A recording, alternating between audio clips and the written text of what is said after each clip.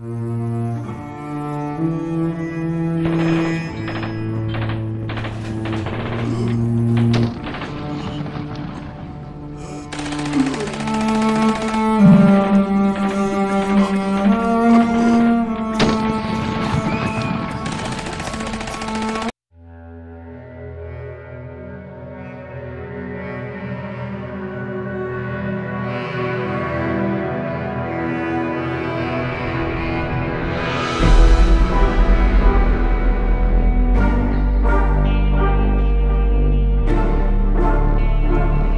एक आदमी ने अपने लिए लकड़ी का एक बड़ा संदूक मुंतखब किया। जब उसे उठाने लगा तो वो अपनी जगह से एक इंच भी ना हिला।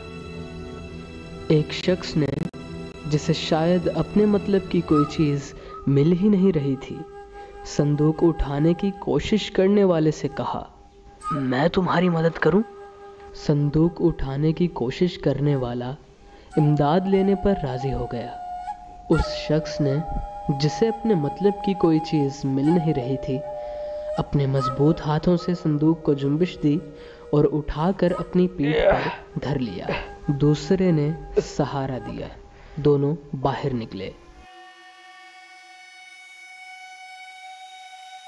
संदूक बहुत बोझल था। उसके वज़न के नीचे उठाने वाले की पीठ चटक रही थी। टांगे दोहरी हुई जा रही थी। मगर इनाम की तो ने उस जिस्मानी मुशक्क़त का एहसास नीम मुर्दा कर दिया था।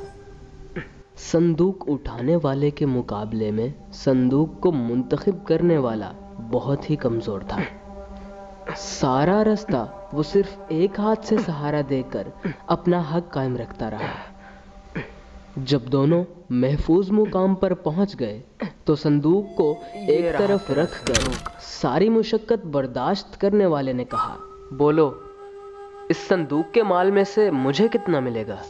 संदूक पर पहली नज़र डालने वाले ने जवाब दिया एक चौथाई हाँ बहुत कम है कम बिल्कुल नहीं है इसलिए कि सबसे पहले मैंने ही इस पर हाथ डाला था ठीक है लेकिन यहाँ तक इस कमर तोड़ बोझ को उठा के लाया कौन है?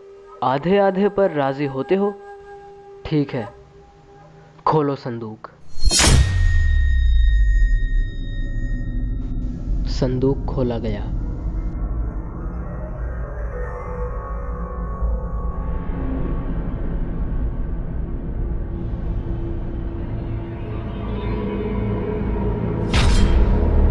तो इसमें से एक आदमी बाहर निकला।